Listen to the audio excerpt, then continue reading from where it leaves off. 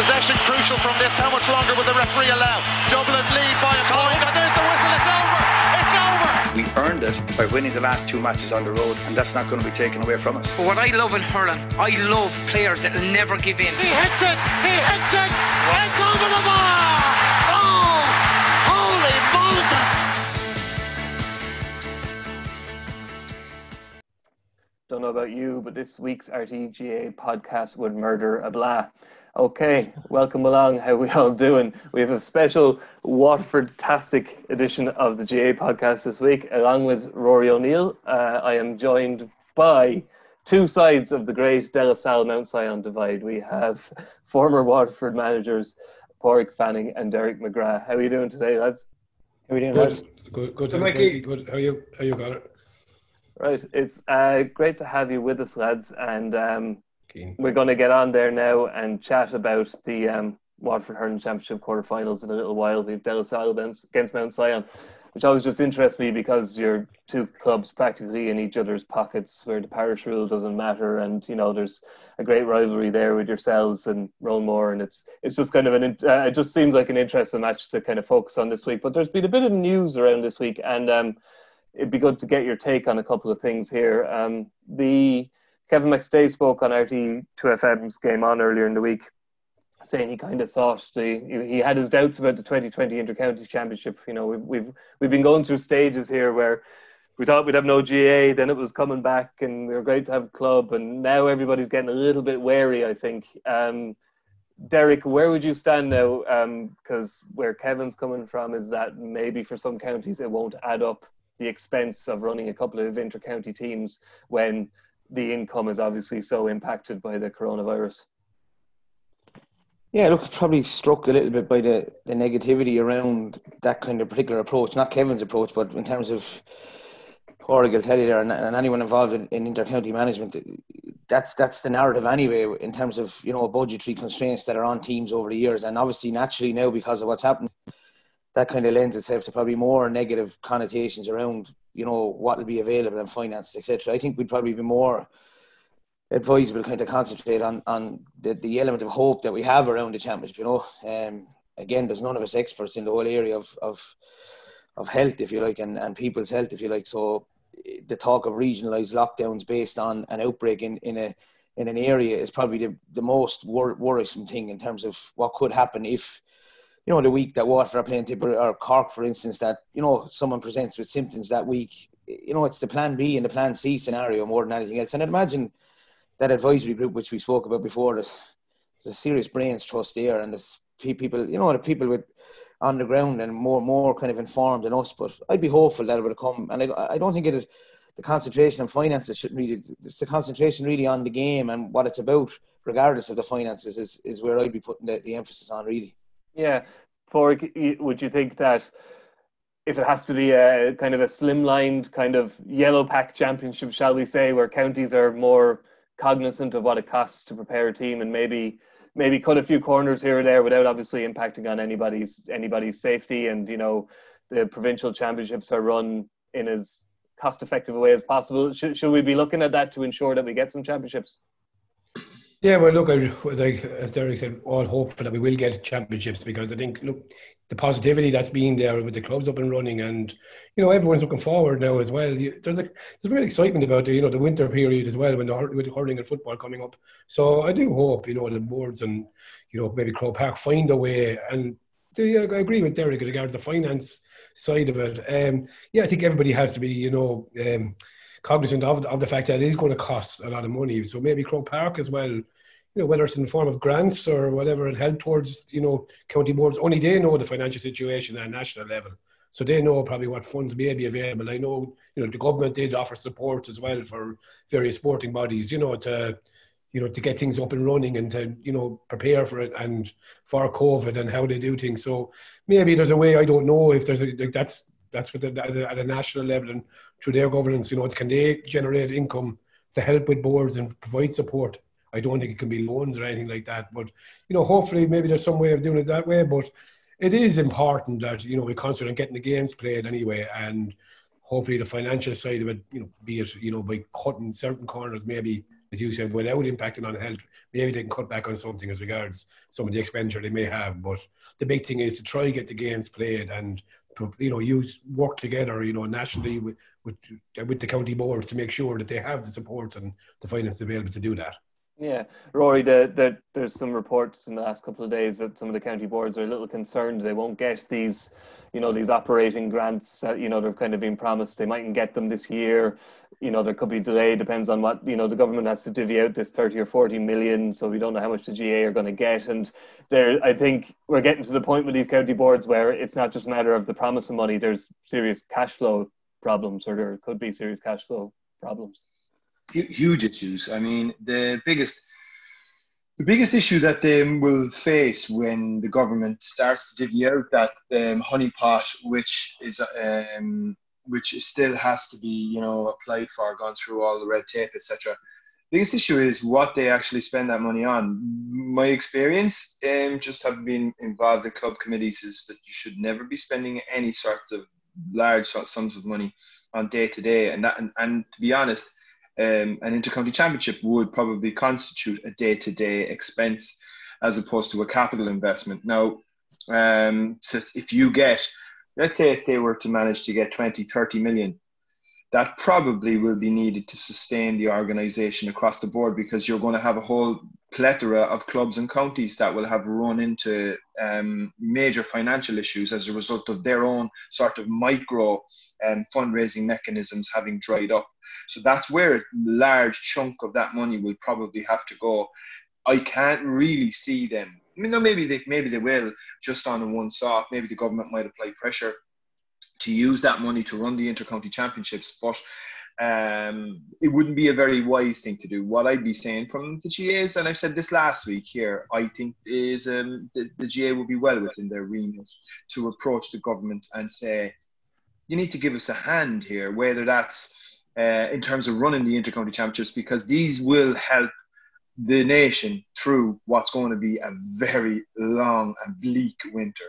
And you need to give us a dig out here because we will.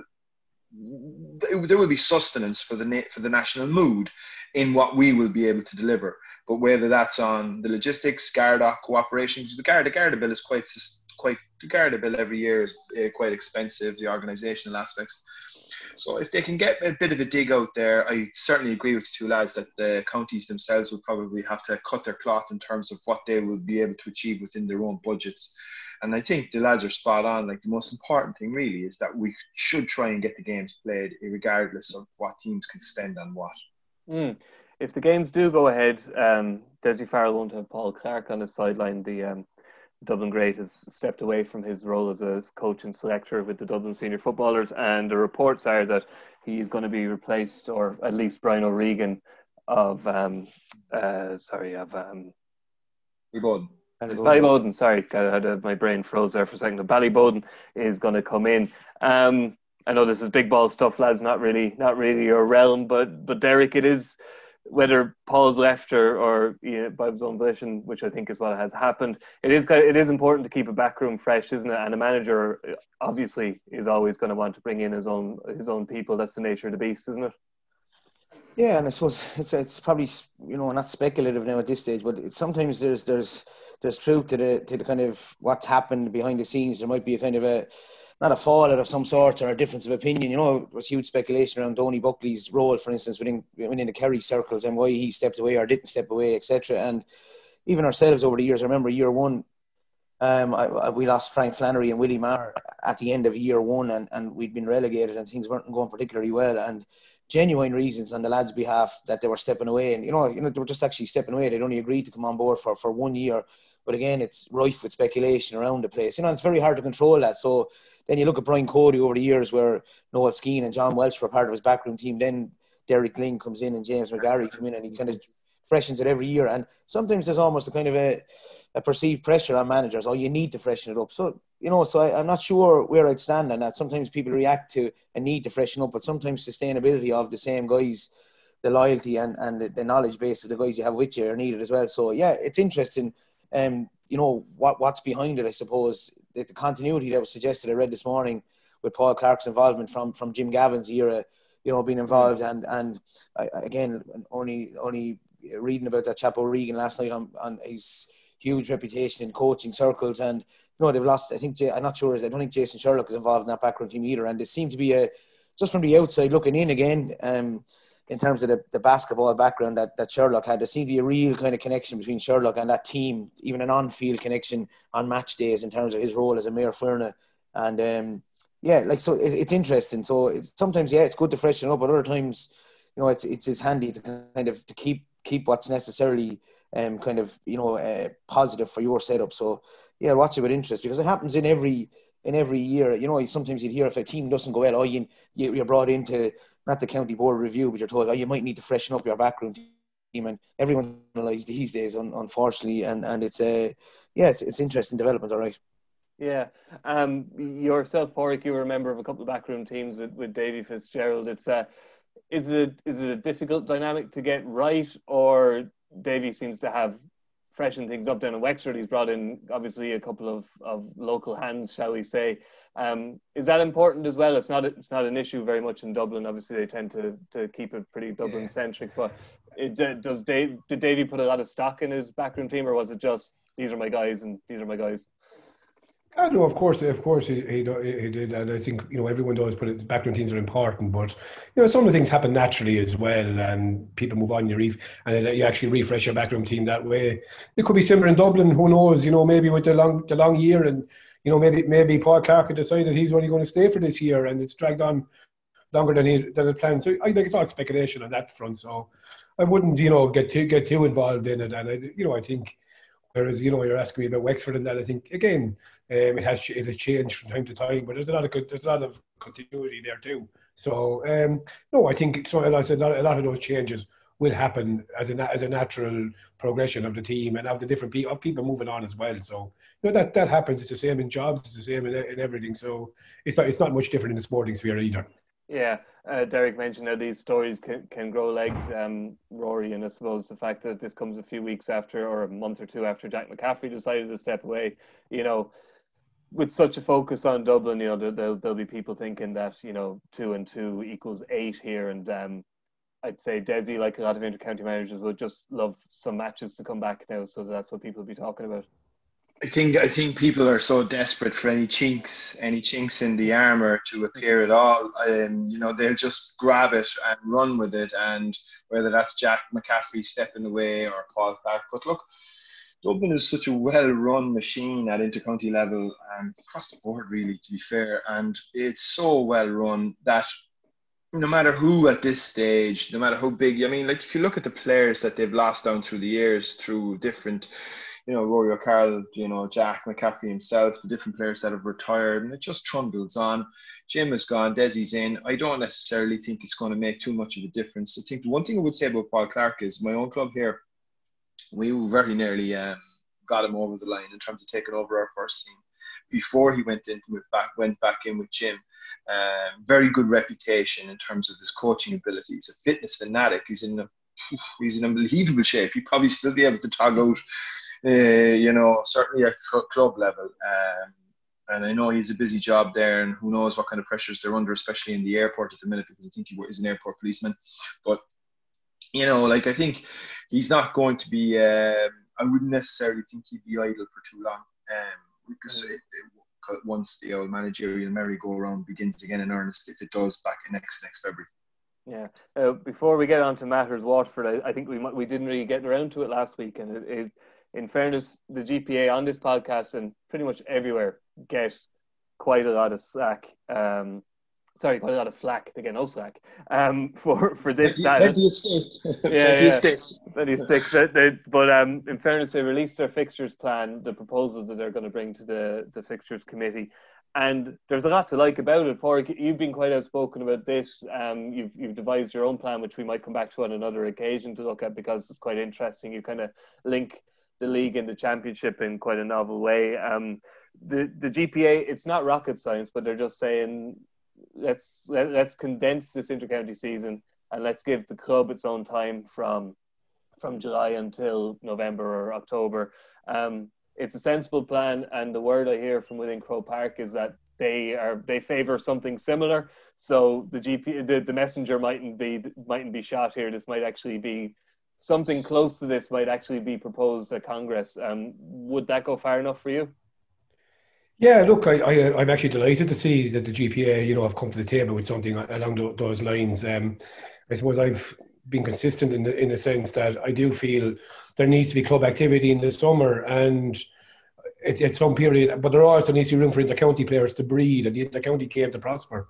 And I don't think the pulling and dragging, and we saw that when, you know, at the start of the, of the, of the um, you know, the COVID, when we returned to play, that needs that that that needs to be taken away and uh, and, and help the players, help the county managers, help the club managers. And I think the GPA condenses. I think it's very very possible. I think it's exciting actually that to hear people talking of blank canvases and everything on the table and willing to you know look at this seriously. And I think it's a huge opportunity now for the GAA to you know do something really really positive for the entire GAA population, club and county and really put something in place that I think will only lead to the GAA prosper even further for the next few years because I do think like the intercounty game is fantastic. The the level it's got to is huge, and to keep that going, but also to you know to keep the conveyor belt coming from the clubs and the interest in the club game.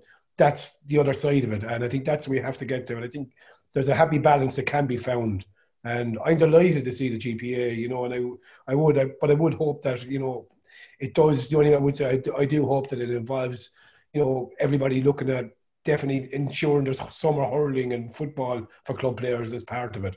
You know, I don't, I don't think you can go to a thing where there's nothing happening until September or late August. That's that would defeat the purpose. Yeah, Der- Derek, we, we were chatting about something similar um, a few weeks ago on the podcast. I suppose the fear is that if the intercounty game is over by July, those traditional dates which are already lost in September, you know, and, and you, you lose August and there's talk of, you know, we're, we're, we're ground to rugby or soccer or whatever. Uh, how do you balance that with the idea of, you know, less strain on players at underage, college, senior and club, intercounty and club level and given club, do you think the club players should be given August and September um, you know, obviously they're in the spotlight at the moment and everybody's enjoying the streaming.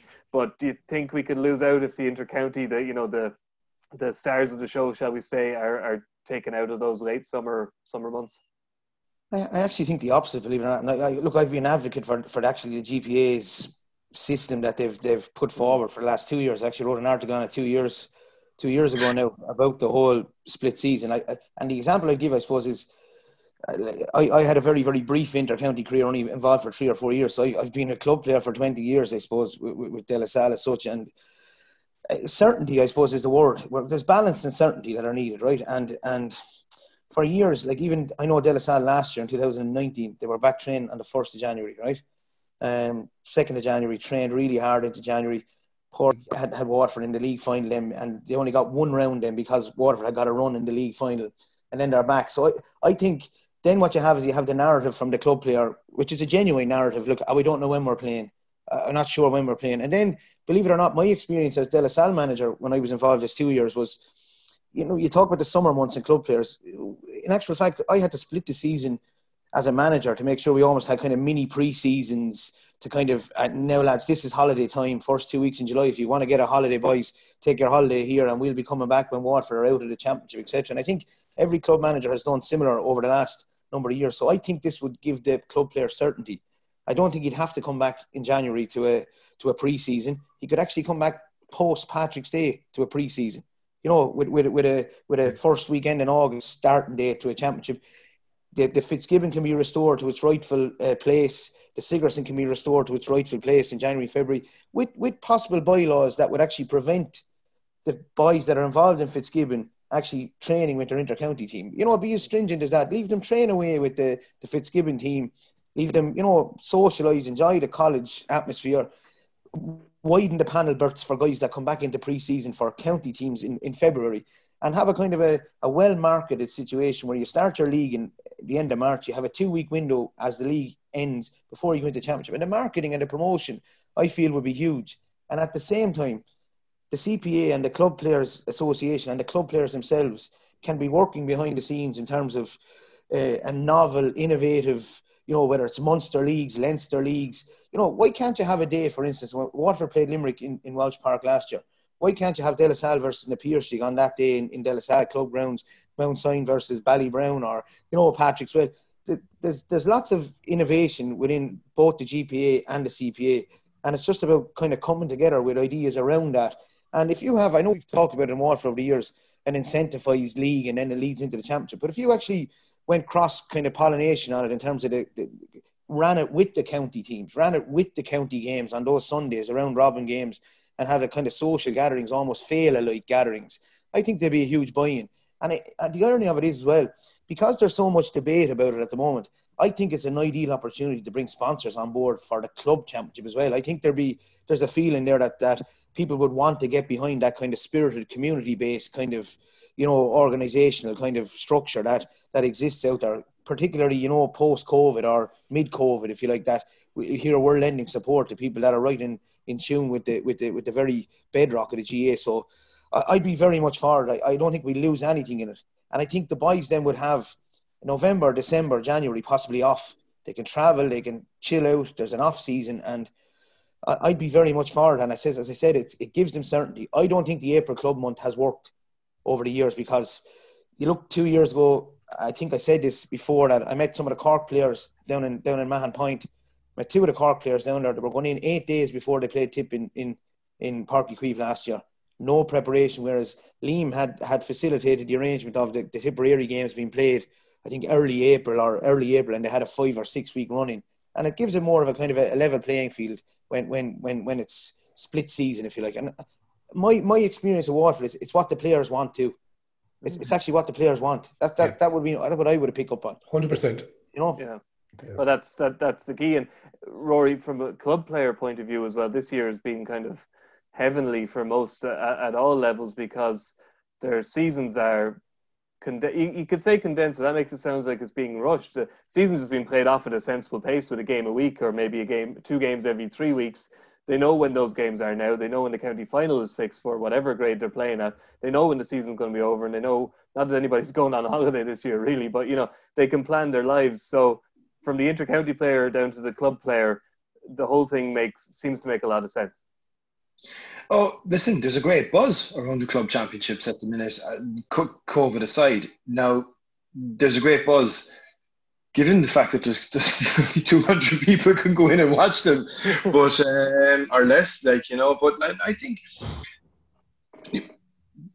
excuse me, the only caveat that I would add to it all is it would be one small issue that I would spot with this. When you split the season between club and county, the one person who I think is actually um, under a lot of pressure in that sort of scenario is the intercounty player because he's the guy that's going to have to play all the way through a very, very difficult grind of an intercounty season and down tools once that's over and begin it all over again with the club. And invariably, these are guys that are always expected to kind of almost put the club up on their back too when they get into it. So it's a huge pressure in terms of they're the one, they're, it's the elite player that then is being expected to almost play nine, ten months of the year. The club gets the club. We're already doing that. I know, and, and but I but I They're already doing ten months. that, that, that is true, I suppose. But I suppose if you are looking at the player welfare side of it, which is what the GPA state that is their obvious aim, then I'm not entirely sure if elongating uh, a playing season that where the intercounty player is the one that comes off worst is actually in their own best interests. And I suppose it's probably only something that you're going to see when we get it into practice. Mm. Okay, gents, we'll, we'll, we'll leave the national issues there and we'll get down to the nitty gritty here of the local. Uh, this weekend we have the uh, Waterford Hurling Championship quarterfinals, including a um, Waterford City derby between De La Salle and Mount Sion. Um, we're lucky, coincidentally, to be joined by the managers of the of the last winning teams from each club. Uh, unfortunately, you're going back to 06 for uh, Mount Sion and Pádraig, you managed them to victory, and to 2012, Derek, when you managed De La Salle. Um, since then, Barry idea here there has pretty much been the Ballygunner show, and we might get onto that shortly. But let's start with I've been reading up a little. I know that you are based from, you are both from the top of the town, as it's called, and you're in each other's pockets. So I might go to you first, Pádraig. Um, how does player recruitment work? When you're you're obviously yourselves your two clubs in Roanmore, as far as I know, you're pretty much battling for the same pool of players, yeah. Yeah, I suppose. Look, we're all city-based clubs, and um, it's it's it is it's um, because we're in the city, and you know, as the city expands and houses housing estates pop up, you know, people end up going, suppose, living in different different estates within the city, and they could be from different background, the clubs, or you know, traditionally who they play for. That happens. Like for instance, Owen Dunphy would have, would have managed De La Salle and played under 21 with Waterford as well, and played senior a bit. Like Owen lived just three doors around the corner from me, and Derek's brother-in-law John Mullane lived 100 yards up the road, and you know, I did play for De La Salle, and I played for Mount Sion, and we had great fun on the green, I suppose, at times, um, you know, growing up. But that's the way it was. And recruitment traditionally, I suppose, look, both all clubs are nearly attached to a school. I know for us, I suppose, we're, the, the school would, would have been our main and it's changed a little bit now. the demographic has changed, I suppose, there too. It's a city, inner city school um, in Mount Sion. But a lot of our recruitment comes through, I suppose, mainly fam- the family history and, and the school itself. And similarly, I know you can speak for De La Salle with St. Declan's and, you know, the, the school there in, and De La Salle and Stephen Street as well. So, you know, that's the primary schools and then onto the secondary mm. schools. So that's the way, I suppose. It's different at secondary level, I suppose, but the majority comes through the, for us would be recruitment through the school and families, and that's it. we have a very small pick now for a city club in Mount Sion because, like as I said, the demographic and where people are living has changed, and we'd have a lot of players. Okay. You know, I'm growing up there, so it's a bit different. Okay, uh, Derek, how important is the school to De La Salle? Obviously, because you've had a fair bit of success at school level, and like, like, what kind of percentage of the secondary school team would be? Would they all be De La Salle club club players, or could they be could they be drawn from other clubs?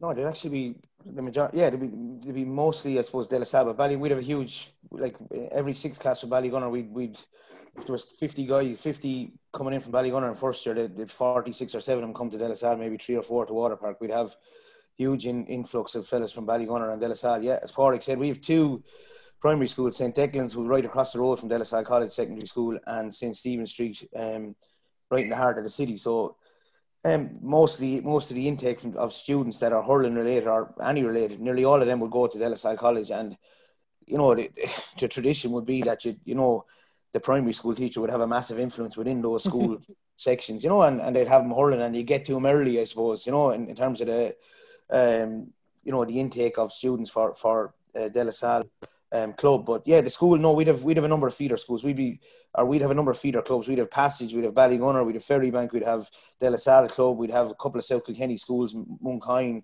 Piltown, a couple from Carrick, even a couple from Ferrybank over across the bridge as well. So we'd have a kind of a huge intake. Have twelve hundred boys, so there'd be a huge intake of students from a number of clubs. But yeah, it's a De La Salle school.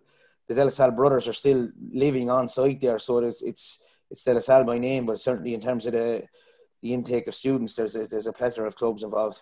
Yeah, it's almost like a, a, a Dublin rugby school. There, you know, you got the uh, the school and then the loose attachment to the club. It's a it's an interesting kind of uh, way to go at it. Rory, you you're from Cork City. Um, I think the hurling scene might be slightly diluted in Cork City. That you know the football is probably more prominent than it is in Waterford, but it is like obviously it, there's a huge number of urban, you know, city dwelling hurlers. But I suppose for a lot of people, even people living in Dublin because the clubs are more spread out. It's a kind of it, it it does give a unique feel to rivalries, doesn't it? When as the lads are saying, housing estates could could house players from two or three different rival clubs. Without any without any doubt, I think if you look back at like a lot of people will say like, and I don't mean this in any way in any disparaging sense to the lads now, but if you look back at, we'll say Waterford in the under Justin is probably the easiest way to describe it. Waterford under Justin McCarthy, they were kind of almost everybody's second team. Um, you know, if you weren't from uh, Waterford, uh, and you were you certainly you, you know weren't from Cork or Kilkenny, they were the team that you kind of really rooted for because they did play the game with a real sort of swashbuckling swagger and very typical of a lot of Justin McCarthy Justin McCarthy teams and the style with which he would play the game anyway. But I think what was more striking about them was they felt very much like a city team. You know, there was a sort of an urban swagger about them as well. Mm. And I think that, you know, like there, you know, you had Dan, like obviously in the era pre helmet, you know, so you had so many characters like John, uh, Derek's brother in law, like Dan Shanahan, like Ken McGrath, like Paul Flynn, and they kind of, you know, like they wore their hat in their sleeves, lads with tattoos, gestures to the crowd. As a supporter and as a Cork supporter, even though we love to hate them and all of that, you couldn't but admire it because I thought it was brilliant for the game, brilliant for the game of hurling because it showed that it, hurling could be kind of cool and sexy. and I think that definitely did come from that sort of urban sense within Waterford City where I suppose Mount Sion, De La Salle, and and the city clubs would start to drive it, and there was always be a sense that certainly from me, from and I'm interested to hear the lads' views that the, the, the club hurling scene. I know Ballygunner have been the preeminent side, fair fair play to them, but the, that the the club hurling scene in Waterford would have always been very healthy, very strong, good, um, and a good spread of clubs certainly at the top end, and um, really, I suppose, really looking forward to this weekend in one sense. Yeah, so the uh, yourselves there, Paraic, are well out in front with, with, with 35 titles, but you know a, a, lot of them were won in massive chunks. In the well, you, you won. You played in 10 county finals yourself and won five. So, like in later years, they obviously won quite a lot, but a big won a big chunks in the 50s and 60s. But until this period of Ballygunner um, dominance, the Waterford Hurling Championship had been, as as Rory says, a very very healthy competitive competition, hadn't it? I've had yeah, Ballygunner in the middle of a big chunk themselves at the moment. yeah, um, you know, and um, is it seven in a row now? They're going for seven going, in a row. They're going, yeah, they're going for seven in a row. So, and yes, they have they have been a dominant team. You know, it's um, no doubt about that. But I do think um, like I, I think there's an awful lot of work that's going on, you know, even even with the other clubs and ourselves in Mount Sion and, and in De La Salle, I think I think that, that gap is closing a little bit too. Um, you do get periods where teams are dominant. It was never probably a team as dominant in recent years as Ballygunner have been now. Um, but I do think it's not, you know, it, I think all the clubs, particularly, you know, Salle have a very well balanced team this year. Um, you know, you saw like like I know Abby said, a lot of, so even look at the Waterford County team, there's a fair spread of players from around a lot of clubs there. Even though Ballygunner are dominant, they don't dominate, I suppose, in terms of numbers on the county team as well. So mm. that will tell you there's a lot of hurling going on at all levels in Waterford, and there's Rory quietly points out there. You know, there's there's there is a good spread, there's a good balance, and I think you know there's not as there's not a big a gap as people think there is between between the, between the clubs, and that includes maybe Ballygunner. Like I was involved with two minor teams myself in Mount Sion there in recent years, and we lost two minor county finals narrowly to Ballygunner, one of them by a point to Ballygunner. You know, and a lot of those guys are coming into the senior setup now. A lot of Ballygunner team have guys from that senior from that those minor teams as well. So you know they still have that bit of class though as well as of lads who've been around the block, and that that helps hugely. You know, but I do think the the gap is closing a little bit. Yeah, Derek, it's again doing a little bit of research. I couldn't help but notice that particularly in matches between Ballygunner, De La Salle, and Mount Sion over the last kind of 10, 15, 20 years.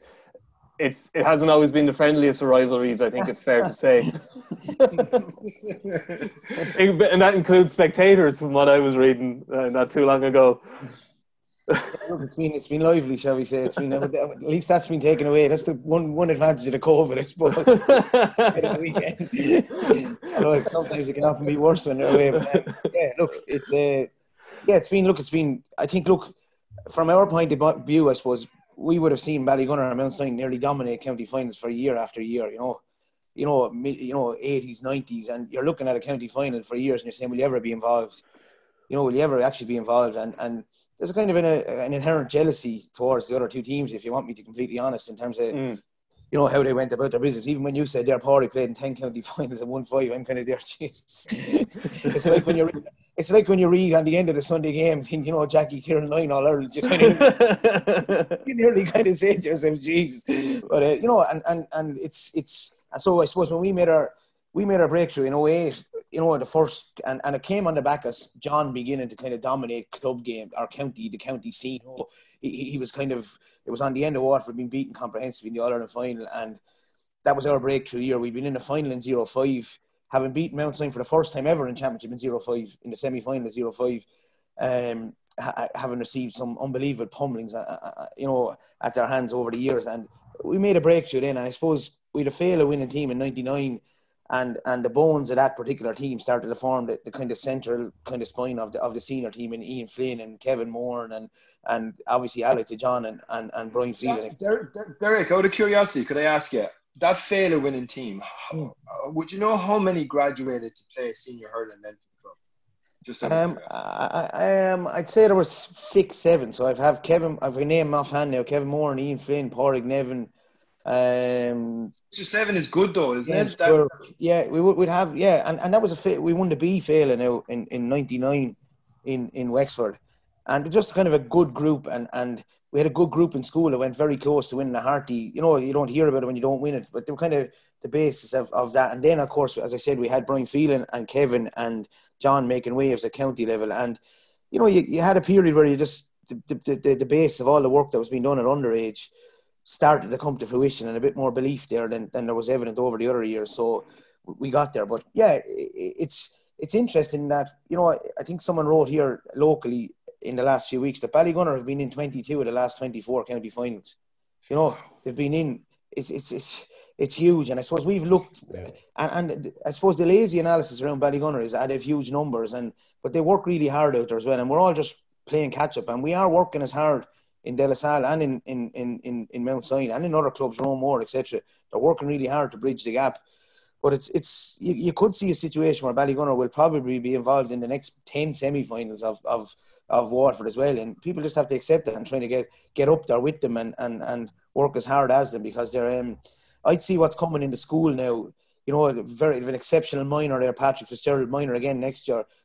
Brian O'Sullivan will probably be back from his travels next year, and they, they may get stronger as well, you know, in, in, the absence of, of maybe a year out of it, or if, if we could overturn them this year, if Mount Sion can overturn them, they still will be around the scene for the next, you know, 10, 15 years, I'd imagine. Would, would, would, you think that, would you think though, given like the dominance and like obviously, look, granted the Munster club provincial championship, the Munster Club particularly, is a bear pit. I mean, it's a really, really difficult championship mm-hmm. to win. The five best teams in Munster all playing off against each other. But would you think that Ballygunner have underachieved that provincial and, and, and All Ireland level, given their dominance over the last seven, eight, nine, ten years? Uh, well, they'll, they'll tell you if you if you spoke to Philip Mahony, he'd tell you they have. But I, I I'd give you I'd give you a counter argument. I'd say that I, I personally think that they got caught last year. I know that people would say yeah, I know Barcelona were lucky. Bar- I, yeah, no, that's my, my, my, personal opinion, right? That they got caught. I actually thought they were well tuned to win that game last year, and they just got caught. So what they've had is is they've met exceptional teams in the Piarsaigh, and I think they've just been the victims of. I still think there's an All Ireland club in Ballygunner in the next three years. I, I, you know, but it's it's it's whether or not the, the lack of a Munster club takes away from their their their attitude this year or their, their, their kind of need to go there. So I would argue that they haven't underachieved. They've just met really really um, good teams on on given days, and and appears to be probably been the you know the, the most prominent example of that. But um, other than that, I would say last year was the, was their year to you know, that, that they were going well. Dessie Hutchinson's kind of, you know, injection into the team and what he was given to him. And I, I feel if they played Borrisoleigh 10 times, with all due respect to Borrisoleigh, I, I, I think they'd win 8 out of 10 of them, you know. Yeah. Borg, do we get too concerned about these like eras of dominance for certain clubs? Now, Ballygunner, say, Corofin, Crossmaglen for about 20 odd years there, Ballyhale at the moment in Kilkenny you know, Mount Sion did it for periods, you know, in the 50s, 60s, and in your day. Um, you know, and, and club hurling in Waterford survived and thrived, and then another team comes good. It's kind of the nature of it, and I suppose in a way it gives Mount Sion, it gives De La Salle, it gives all the other clubs, you know, a target to aim at. I suppose if it was being swapped between different yeah. clubs every year, be romantic, but it wouldn't be the same challenge, would it? No, but I do think, like, in fairness, as Derek said, like, Ballygunner set the bar very high. And that's the way I've always looked at it too, even when I suppose we were winning and teams would say it's, it's two Mount Sion, Ballygunner. Um, that's the bar. The bar is there, and you've got to get up to it, you know. And I, I know we're working very hard, and other clubs are to get up to that bar, and that's fair enough. I don't think it's. I don't think it's a bad thing um, for a team to dominate. I think it doesn't mean hurling stops in every other place, in every other club, in every other parish in the county. It certainly doesn't. Um, if anything, people work harder to get up there, and, and, and the end result is, you know, a, spread of players from around the county. Um, and it's not as dominant. Like you know, I know. Uh, Derek, correct me if I'm wrong here, but I think um, De La won three under 21s in a row there in 15, 16, and 17. So yeah. most of those players now are probably what had three years, 23, 24 years of age. Mm. Um, probably the bones of our senior. Yeah. And beat Ballygunner in a couple of those finals. Is that right? Yeah, Derek? so yeah, so, so like they're going to be there now at the moment. Again, looking at they're probably in their prime now, and that's probably the basis of a lot of their team at the moment. So it's not as as I said. I'm not saying that, of course they're dominant, and the, and the and the silverware they have shows that. But the gap that, as regards the quality of players, that to answer your question, there's still a lot of hurling going on in the other clubs, and there's a lot of good players there. Yeah, you're talking up De La Salle there, good man. Um, Mount Sion, what, what's the story with Austin Gleeson? I watched it last night. I think it was a it was a, it was a hell of a shoulder, but you have to say the Roe man kind of ducked into it a bit. It looked like a harsh red. Is he any chance of appealing it? Do you know? I'm glad you called it a shoulder as well, um, and that would be my view. Um, it, it, there was yeah, a, ro- look, a robust shoulder. well, look, I'm I, I'm obviously be accused of being biased. uh, Of course, I would. And my, my my my view of it is that it was um, an inter-county intensity challenge in a club game by a, high, a very very fit Austin Gleeson, who was on top of his game at the moment, and he came he came on so quickly, and it wasn't as if he met him. You know, my, this is my opinion of it. He didn't meet him in the chair. He met him side on. He's a six foot two man tackling a five foot eight guy, and it was a big big hit. But as I said, you don't. Ju- I don't think cards should be judged by the level of intensity. I think it was a mm. good to me. I be this, and I think you know Peter Queally as manager of Roanmore as well. We'll be expecting guys in that, that as well to make those type of challenges. It was a it was a big hit. I'm not denying that. It was it was, it was a thundering hit. I was at the game myself, but to me, when you know the man turned into him, he met him as I said side on, and that's and and that's what he attempted to do. And for me, I don't I don't think the fact that the referee and there's a lot of debate about it at the moment as well. Yeah. The fact that people are split on it tells you as well. Was it a certain red card? There's too much debate for it to be certain, and that's why I The club don't think you appealing- can are do the it. club, are the club appealing it, Park? Um, to be honest, I'm not. I'm not directly involved. I'm not directly involved, obviously, with the team and that. So I'd assume. I'd assume. So I don't even know what has happened as regards, you know, the usual stuff, the way procedures are with getting a suspension. And I don't know. Um, so obviously, when you're sent off, you're automatically suspended. But um, I personally, I would certainly be appealing it. I think it's, um, you know, I I think it was a, it was yes, it was a big hit. It was. It's the people are debating it, but because it's debatable, I think it merits, you know, um, a review. And I think the referee and the linesman had to chat, and the referee had to go chat to the linesman too. So maybe he wasn't sure either, you know. Yeah. And that's that's where it was at in, in my view, and that's that's that's kind of I felt at the time, and I've watched it as well a few times. Yeah, you you've achieved a lot with the with that young man, Derek, and you know you've you've had some special days with him. But I assume you'd like them to throw the book at him, yeah. Ah. gas man. A gas man. As, as Don Logue said to Des Cahill one night, that's a loaded question. He'll add, to, he'll add to the game as well. To see, to see him all playing and going Yeah, look, yeah, look, and- and let's go for it. yeah, genuine. Uh, would you believe? Would you believe? I, I actually didn't watch it till last night. I watched the video last night because I said, I said, oh, Jesus, that'll come up now, and I, I, I've deliberately tried to stay away from it. And, and I actually have sliotars for Austin. I'm supposed to give him the sliotars, so I said I won't give him the sliotars till next week. Um, uh, so I said I'll steer clear of it because, uh, yeah, look, I, I'd be hoping that he's involved.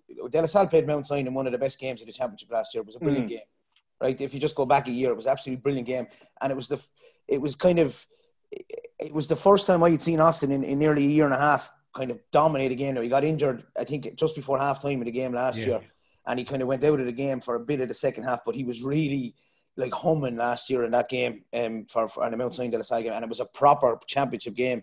The only game that compared it was De La Salle and Lismore last year in the championship. It was a brilliant opening game in the championship as well. So he was really humming, and you saw from his first round performance against Conne, you know, and, and it's been well documented how, how good of shape he's in physically, etc. And you know, it'll be nice to see him involved, and you know, it, it's it makes it all the better for for everyone, and that there's no ambiguity, and that he's involved, and and you know, it'll be a proper championship feel and championship games. So we- without being, you know, eh, stupidly kind of, you know, kind of unnecessarily fair, uh, De La Salle would hope that he's involved, and they're certainly preparing for him to be involved, you know, and, and you know, they're, they're not really debating will he, won't he, they're, they're preparing um, for him to be involved, and, and um, I'm, I'm hopeful that he'll be involved because I, I think it'll make it a, a far better game if he's involved. yeah. And, get, and, and, given, and given how little hurling we're going to get this year across the board, I think it's vital that he's involved because he, you know, he's he's he's look. Let's be honest, he's a mercurial special talent. He's in, as we've all seen from recent um, social media posts, he's in the shape of his life. Um, he's one. He's the he's the kind of hurler. That's it. You know, if you're talking Joe Canning, TJ Reid category. He's at that level. Mm-hmm. And, um, you know, it was absolutely flying it, racking up big scores. And I think for something that definitely is a debatable uh, sanction, I think, you know, you'd hope the Waterford CCC would see some sense and um, just give him, give him, give him the go ahead to play. Uh, from for those of us not from Watford and not immersed in the Watford scene, we'd probably say, Jesus, if Mount Sion don't have former hurler of the year, Austin Gleeson, they have in a prayer. But I, would assume you'd say that they, there's a team there built up that could hopefully absorb the loss of, of a player like Austin if they had to. Yeah, of course. I think that's the way any any team would have to approach it. You know, you if if, if, if that blow is dealt, which as I said, hopefully not. But um, yeah, look, we I, I think we, let's say we've we've been in a couple of minor county finals. We have a few young lads coming through. Martin O'Neill as well back from Canada um, after he was away for a few years there. Um, you know, in a former Waterford minor Munster winning captain in that, you know, and was involved in the senior panel. That he's a big plus for us to have back. Um, so you know there are, there are players there. Um, it's going to be a huge challenge with De La Salle. I've seen them a few times this year, albeit on Zoom. Um, but they are very they're a very well balanced team. Um, there's no denying that. As I said, they've won three under 21s there, you know, not so long ago. Um, and they're they're in they're in they're in very very good form. I thought they've been very impressive today, and that's not just saying it because um, you know people saying they're trying to play them up there. I think if if if I'm, if I'm being honest, I think if anybody's being honest, everybody would see De La Salle as probably one of the main threats to to mm. Ballygunner at the moment, and there's a lot of rivalry there too, given the you know as Derek said the connection in the school and players who play with each other there in the school set up. But yeah, look, I think I do give Mount Sion a chance though this weekend. I think regardless, I give I give I do give us a chance.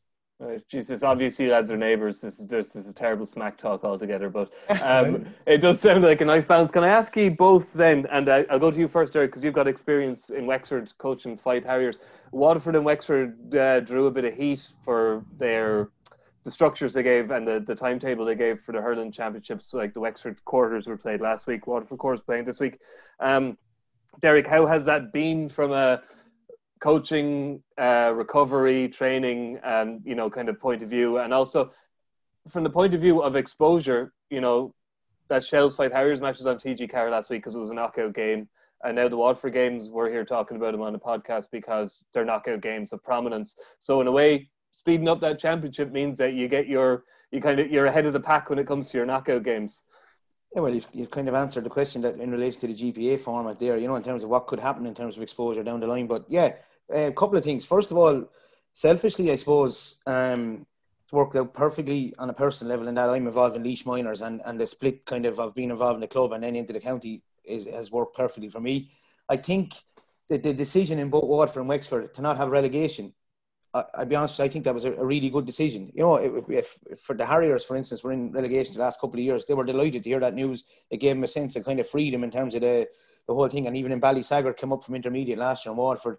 They. They, they drew a group of death in, in Waterford in De La Salle and Abbey side. They're beaten comprehensively in the two matches. I know it presents problems down the lines, etc. I know that, but again, just from listening to the to the the guys on the ground, the condensed nature of the of the the, the club championship has been appealing for the players, you know. And I, I now, if you said the Rapparees were out after seven days, they played one match on a Saturday and one match the following Friday night They played their two matches, they're out of the championship. But I think the context of the COVID and the context of not having a championship or having a championship has to be taken into consideration when you're talking about it. And that fellas were glad to get games, but I think it's it's a possible kind of you know signposting of what could happen, not as condensed, maybe once every two weeks, or you know in terms, or maybe a two groups of six as opposed to two groups mm. of three. You know where you get more games over that period of five or six weeks before it gets to knockout level. Um, is definitely, but I, I my opinion in terms of coaches, I, I love the condensed nature of it match after match. And as a player, the boys seem to kind of relish it, All albeit you know out of the championship now as it stands. But they seem certainly seem to enjoy the whole nature of certainty, I suppose. Yeah, and, and Paraic, has it taken away from the Waterford Championship at all? Do you think the fact that it's been kind of, in the eyes of some, being rushed off, or you know, at least play, played as almost as quickly as it could humanly be played? Um, yeah, I don't know, uh, you know, how rushed off it is now. I do think there was initial plans. I'm not sure whether it was actually a little bit more condensed, even maybe. You know, yeah. that's that was the thing. I think that the reaction was initially from people um, to make sure that there was, you know, an element of that you're getting a couple of games. I think that I think all, all counties have done that. In fairness to Waterford and Wexford, they're both dual counties and they have football to consider as well. Um, so I do think I think it's helped um, the fact that or it's all hurling at the moment. I would agree with that. I can see you can see with Fourmilewater now who would be very strong with the in football, you know, and Abbeyside will be very strong with Ballinacourty in football in Waterford. They can now focus on hurling, which has been that's a big plus. And I think that's a again maybe something to think about going forward as well as about when you play your football and your hurling championships um, with even at club level.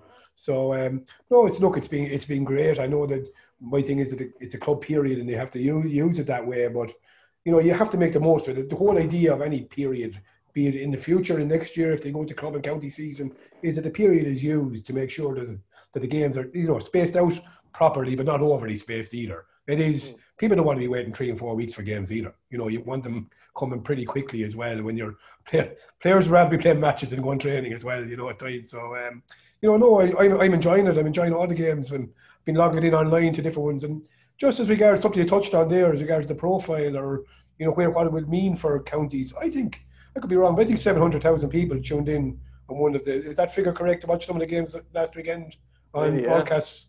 Yeah, you know, yeah. nationally. That might, you know, be, so, that might be that might be a total. That might be a total, total across, it, yeah. across, across, the country. Yeah, Could across be, all yeah, the country. Yeah. But there is an appetite for club games as well as regards profile, and I think the big thing, you know, that so people will be there, and that's that's marketable. You know, that mm. is marketable, um, and it gives a, a, more sustained period of GAA coverage in you know print media and you know and so and on social media when you have games going from intercounty all the way through the summer. So um, you know, no, it's pretty. I, I I'm pretty happy the way things are at the moment. Um, as I said, there's there's a lot of club activity and it's exciting. Yeah, um, I suppose the the fact that the hurling's been played off first it, it will, in a way, obviously aid your successor, both of your successors, I suppose, maybe in, in, in Liam Cahill, in that the, the hurlers, those who aren't dual players, will have a bit of time to rest before they go back to inter-county training. Um, couldn't have the last two Waterford managers on the podcast and not ask them how they think um, it has gone for him. I know we're going back a few, a few months now, but um, Derek, you know, had three wins out of five, second in, the, in their their division in, in the league. Um, he obviously made a couple of tough calls when he came in, in terms of players who um, were left off the panel. Um, has he has he has he succeeded thus far? Do you think? Would you be going into the championship with some optimism?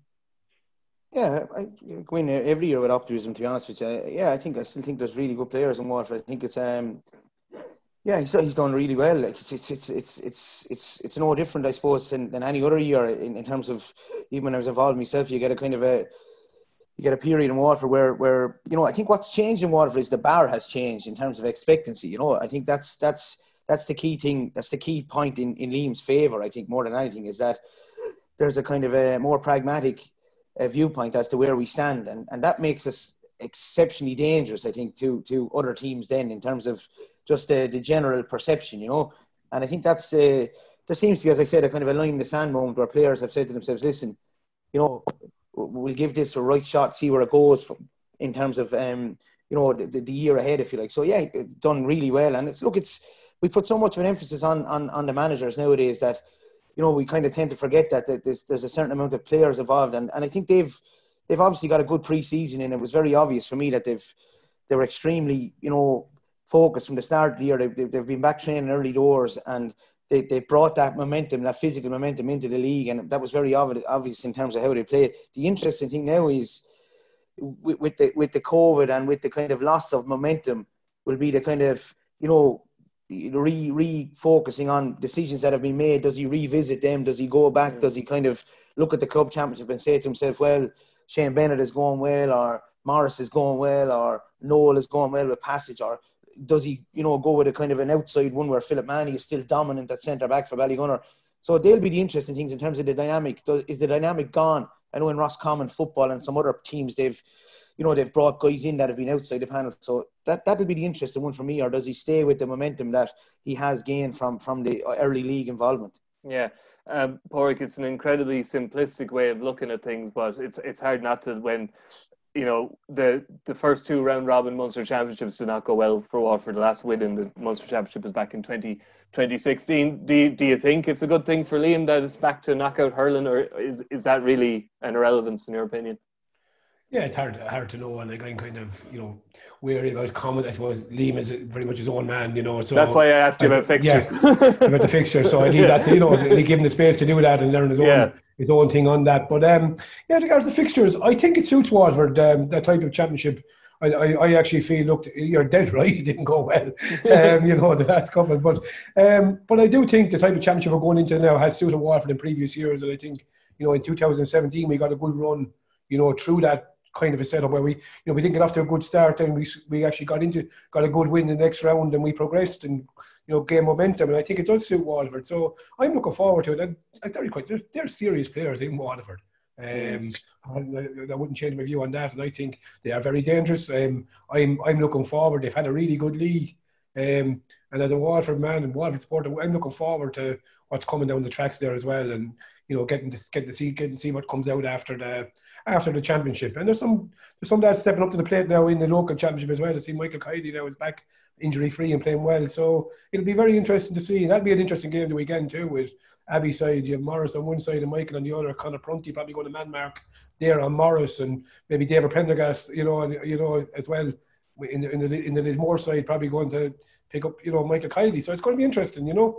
Mm. The one, the one thing, Mikey, the one thing that I, the one thing that I'd suggest on uh, intercounty managers um, in relation to whether, like, wh- whether or not they'll be judged good, bad, or indifferent this year. I don't think there'll be any judgment at all. I think you can't really judge. I think this year, I if I was like, we've already told our own, like we brought in a new guy this year to manage our club side. We've already said to him, look, this year, forget about it. It's a free hit. You will, you won't be judged until 2021. Proper league campaign and a proper championship behind you. And that's really where you will be judged. And I'd say that would probably go for the likes of the Jack O'Connors, you know, the lads that are in their first year in Liam Cahill, Jack O'Connor, Mike Quirke, mm. um, you know, any guys that are in their first year in. This Paul year, Galvin, me, don't forget Paul Galvin. Paul Galvin, correct. Like this year, this year for me, for a lot of these guys, would would would seem to be a, like a free hit, and going see how you get on. You might win. You might get a run in the championship. You might win Munster. You might you might even make an Ireland semi final. Who knows? It could be a very freakish year if the championships get played. But ultimately, I think an awful lot of these guys won't be judged until 20, the end of 2021. So the pressure's off, and I think that's a good thing. Yeah. Um, we'll leave it at that, gents. I suppose I won't ask for a prediction for, for this weekend's match because I think I know what, what you'll both predict. But so I'll just ask you both then: Can can Ballygunner be stopped this year, and if so, who'll be the team to stop them? Paraic. Um, can be stopped? I think. Look, I always think if, if a team, they're, they're, obviously someone's going to have to play really, really well, and they're going to, you know, whether where they're at at the moment, they've been cruising so far. Um, so it's hard to. I think, of course, I put my Mount Sion hat on. You'd be hoping you get a, you know, you, you, want to progress and get a cut at it, but you don't see and test where you are. Like we haven't played Ballygunner in a number of years, so we don't know where we are even in relation to that bar. Um, and no, likewise, Bally Salmon want to do the same. Abbey side, you know, have a have a have a, have a good a good a good outfit. Fourmilewater with JB Barr and Conor Gleeson the last weekend.